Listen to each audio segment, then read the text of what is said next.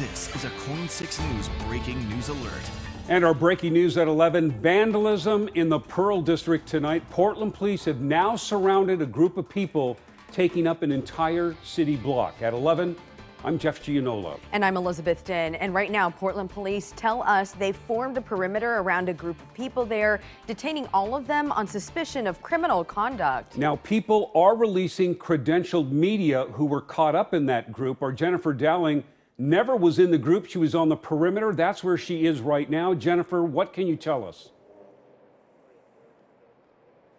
Well, I have seen some members of the media being escorted out one by one. I'm going to step out of the way so you can see what's happening. But we were not uh, in that group of people that got pushed uh, into this one block uh, area where police have detained people. They're calling it a temporary detainment. And even members of the media that were with that group that was marching through the Pearl were also detained. And they were to go to police one by one, show their credentials, and they were to be escorted out. And we have seen some members of the media indeed being escorted out. But we were on the uh, outskirts of all this and were able to kind of escape some of that uh, that's going on within this perimeter. So you can see that there's yellow tape up right now, and inside they detained a group of at least 100 that were marching through the Pearl District. They started in Jamison Park, and we want to show you some video of what happened along the way on that march. Some people started breaking windows at some of the buildings here in the Pearl District, and we did talk to some residents who came out after the windows were broken in the,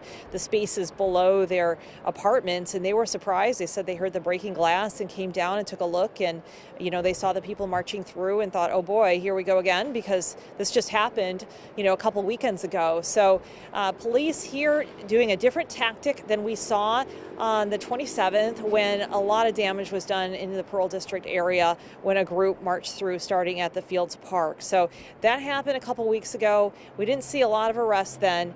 Now we're seeing a big detainment. And again, police calling this a temporary detainment, saying, again, they're going to release people one by one. Uh, they've also asked people that are medically vulnerable to come to the uh, tape or come to police and they'll escort them out as well.